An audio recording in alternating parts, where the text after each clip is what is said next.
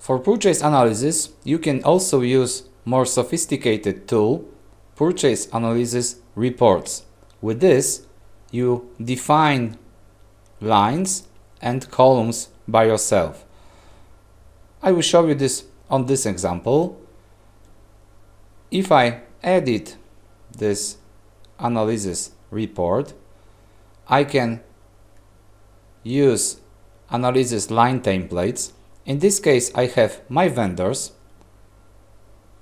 If I want to prepare new lines, I can use some vendor groups, I can use items, I can name it and choose it as I want. I will create new, I will take items.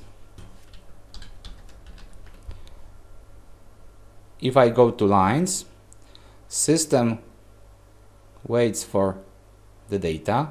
I can use some functions to insert the items. If I take all, system will put them in. Okay? And I will use analysis view we used in this lecture before to have the data from. Okay? Now I can change it to items here and show the matrix again.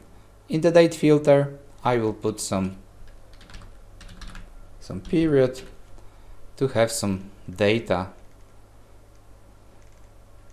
in the items.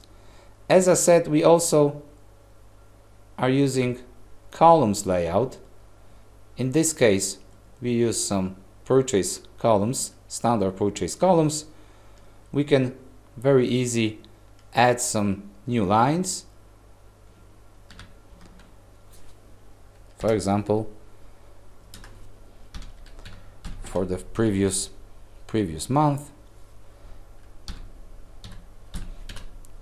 in comparison date formula I will put minus 1m in this case system will calculate the values for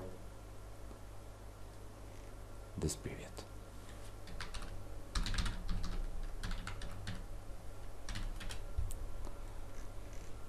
We don't have much data in the system so but in this case that should work